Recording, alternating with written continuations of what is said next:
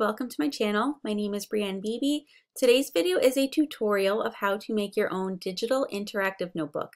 So everything I do, I do it using PowerPoint and Google Slides. So let's get started. So I'm starting with my PowerPoint. I'm going to go up to Layout and change it to Blank. Then I'm going to go right click and Format Background.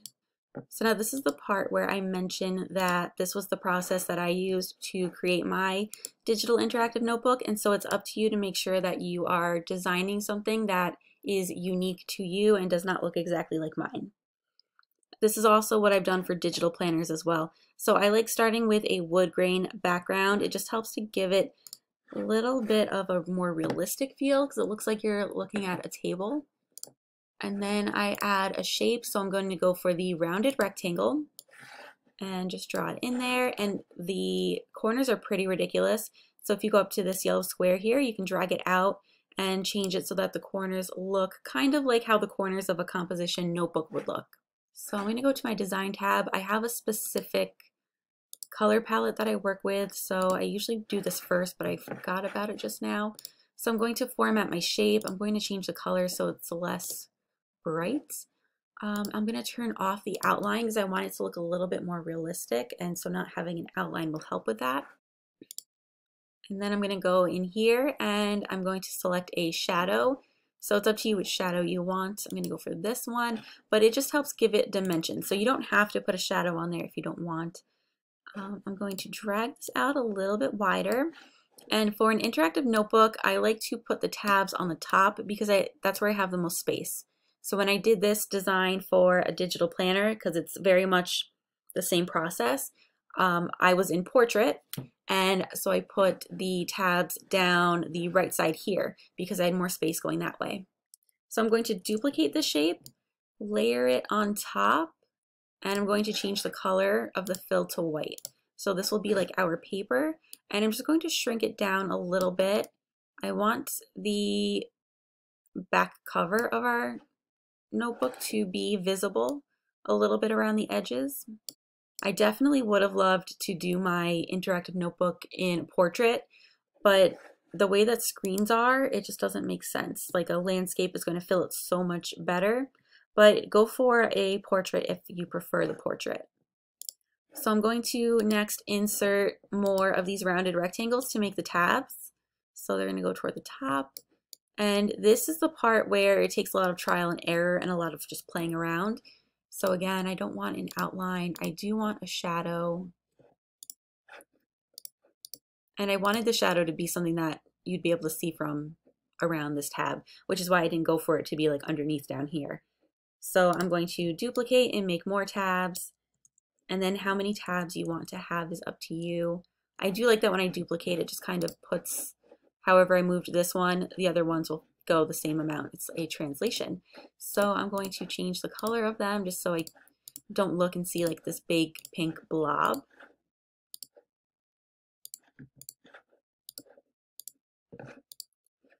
Now if I wanted more of these so that they extended all the way down here, let me just show what that would look like for a minute. This is when I'd be playing with their sizes. So I would highlight all of them and then go to shape format and I would click this and that's going to lock the aspect ratio. And then I would just play with this until it looked like they would fit. And then I could move some of these down. And it's okay to let it get messy because we can just align it in a minute anyway. So let me highlight these again. And I'm going to align them let's say to the middle. So now they're all evenly spaced across the top and bottom. And then I'm going to distribute horizontally. And so now they are all evenly spaced apart from one another. And while they are all highlighted, I'm going to just position them to where I want them. So that's how my tabs are. I probably wouldn't keep this much space in between them personally, but it's just, it's just a demonstration, so it's okay if it's there. Now I'm going to click on the white paper here and bring it forward. Now if we don't want to click 12 different times to bring the white paper to the front, you could just go down here and say bring to front, or you could group your tabs together, which I end up doing anyway usually. And then if I bring the paper forward, it's going to be in front of all the tabs. So now I see that the paper covers the tab quite a bit. I'm gonna just move those up a little. And so now I can see them better. And now if you want to add text, we have a text box here. Um, for the interactive digital notebook, I just numbered them. So I just put a number and I put one on each tab. I'm going to make sure that the fill on this is transparent and there's no outline for my text box. And so I just aligned the number to the tab by making sure that both of them are clicked. So now in this case, I have to actually ungroup. So I'm going to click on the tab and the number, and then I'm going to go up here to align, and I'm going to align it to the center. Just double check down here that it says align to selected objects, which it should because I only have two objects selected. I hit align center. Now the number's in the middle. You could have also done this at the beginning too if you wanted to highlight both of these and then duplicate your tabs out that way. It's just, I'd rather have the tabs spaced out first because when you have the numbers on there too, it's like this added layer of difficulty. So you could also have the number up there first and then duplicate all the tabs, but it to me is just like this added layer of difficulty.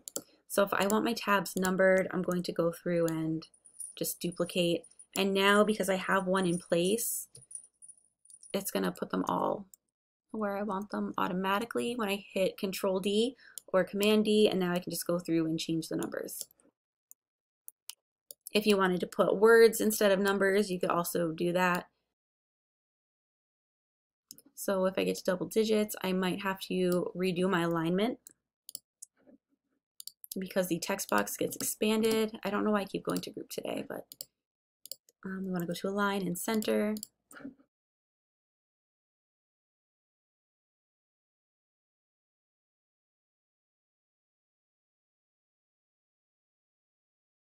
So once I have this very basic general layout done and I'm happy with it, if I'm doing a digital planner, I'll bring in a spine. So this is something that I purchased on Etsy and I throw the spine in here and it's a little close to the edge. So I'd probably have to highlight this whole thing and move it over.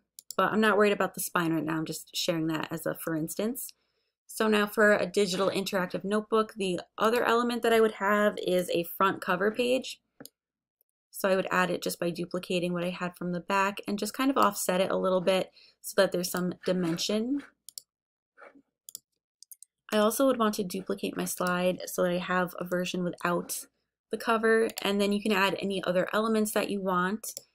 One other thing that I did on the digital interactive notebook that I think is worth showing was I added icons down into the bottom corner right here so that students had a way to get back to the front cover and back to the index and the instructional video easily. So I went to insert icons, and this is my favorite PowerPoint secret. There are so many cute icons here, all different kinds of things. So if we wanted to do like a back to the beginning back cover, um, we could do one of the arrows and we could insert it. And I colored mine gray just so that it stood out against the background, but not so much that it was distracting and then just sized it down in the corner. So the icons are fun and something that you can play with, but what I discovered about Google Slides is that when I linked this, the link popped up underneath of where the icon was and it doesn't actually show up unless you zoom out. So I would actually put this like in the top corner instead. That's just something that I found. And then you want to make sure that everything's consistent. So as I add new slides, I'm going to click over here into my slide view and then duplicate to get more slides of all the same thing. On my second page, I added an index. So I added a text box and just typed in index. And then I made my index by making a table. So I go insert, table.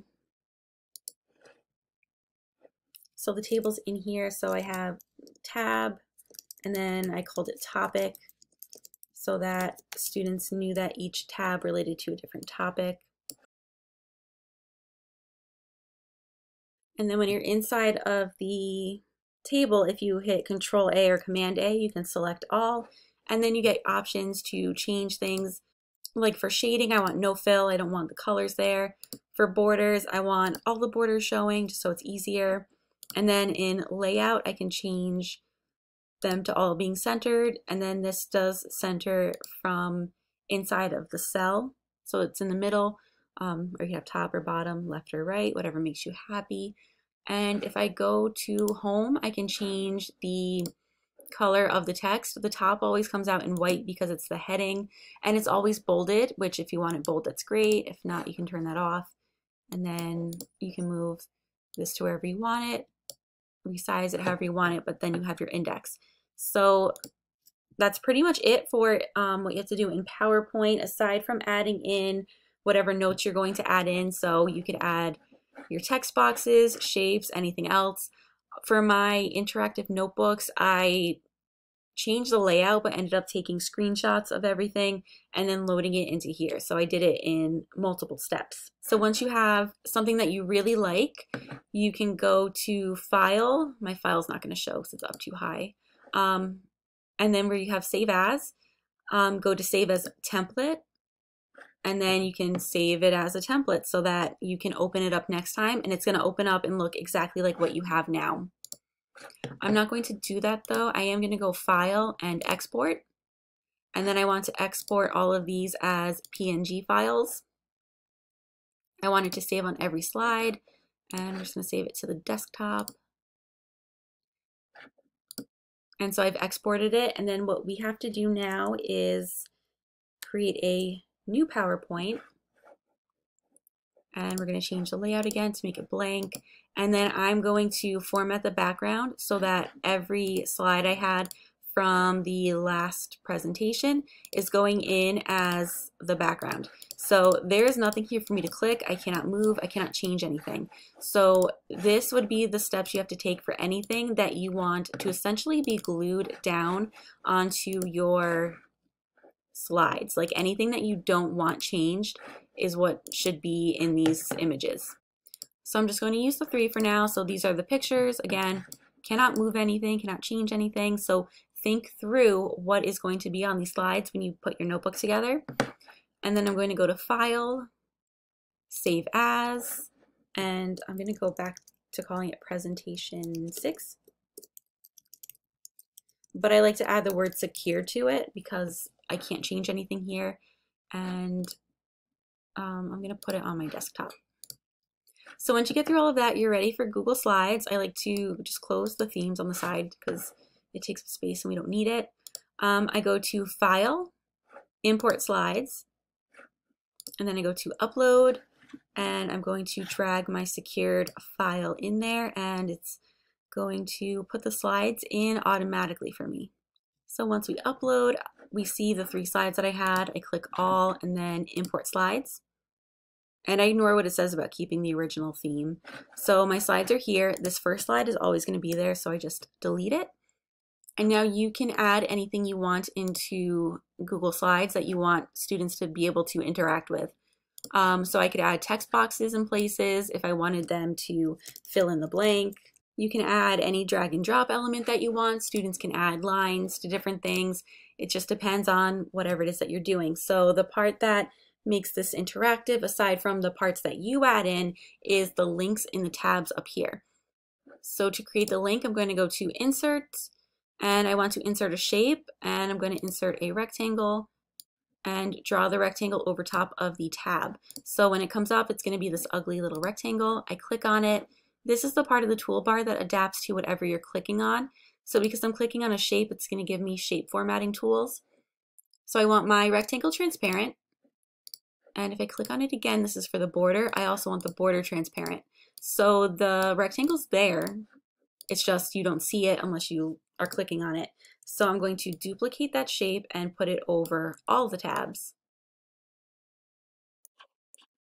The only thing that I do not like about Google Slides is it doesn't quite move the way that PowerPoint does. Like if I try to arrow these over, it jumps quite a bit.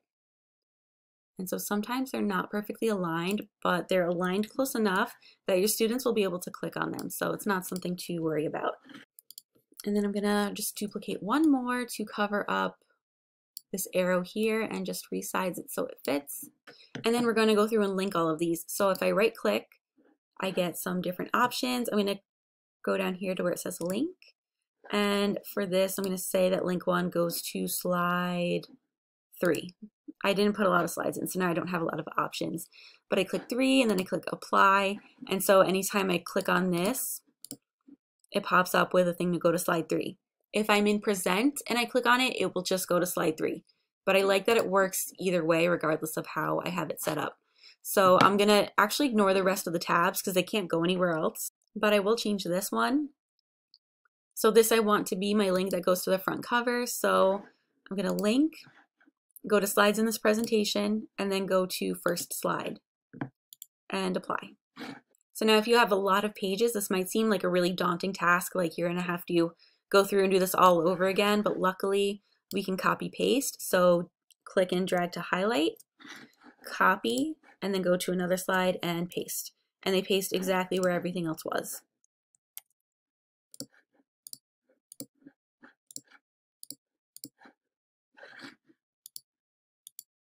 So that is it in a nutshell for creating your own interactive digital notebook.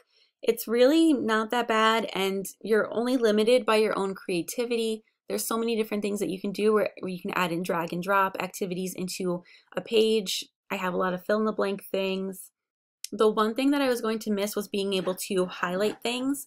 So if I want to do a highlight, I go to PowerPoint and I just create a shape